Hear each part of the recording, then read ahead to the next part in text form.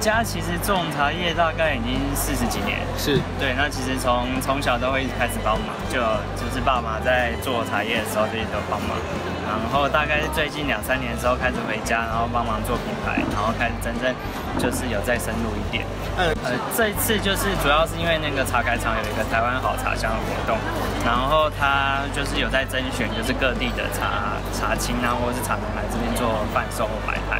然后因为有了这次机会，然后我们也主动报名，然后最后被选上。那因为之前就知道这边花博市集、农民市集其实就蛮多人，而且一直都固定有活动。那想要通过这一次机会先来看一下，然后就是呃顺便看看未来是有机会的话不要在这边继续发展。那大概要用什么样的性质，客群是怎样？那来这边摆摊最最重要的是，他那时候有说要有三张 EQ，就包含可能是有机生产履历或者生产追溯的条码。那我们刚好就有生产追溯有生产履历，所以就也顺顺利被录取。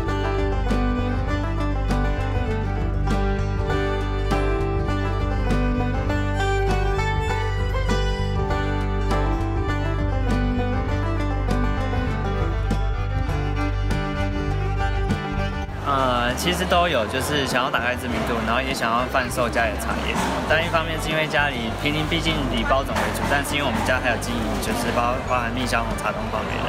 那想要一次都展示给大家，然后再透过在摆摊的过程中，让来一方面在贩售，一方面也可以传达就是茶叶的相关知识，然后建立来让顾客可以对我们呃品牌啊，还是建立更深的印象。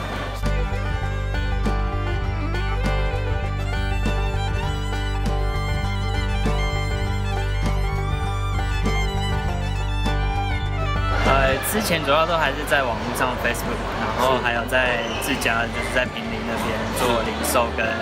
批发。对，那现在就是希望可以走出来，就是像花博这样的摆摊，然后去吸引更多的人认识我们，就是接触到我们。所以你也认为？